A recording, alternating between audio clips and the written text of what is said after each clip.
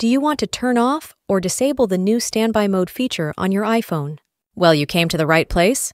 Welcome back to another simple App Tutor tutorial video. In this video, you'll learn how to disable standby mode on your iPhone that's running iOS 17 or newer. This is a new feature which Apple introduced with iOS 17, but if you don't want to use it or you don't find it helpful, then you can easily turn it off by opening the settings on your iPhone and then we'll scroll a little bit down until you can see this Standby option.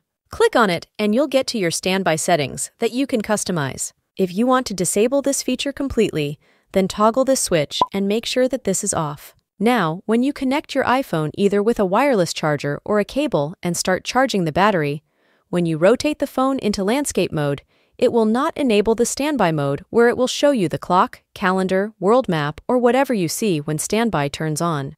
That is how we can turn off the standby mode on our iPhone. If you want more iPhone and iOS 17 tutorials, make sure to subscribe to our channel and check out the iPhone playlist in the description of this video, and I will see you in the next tutorial.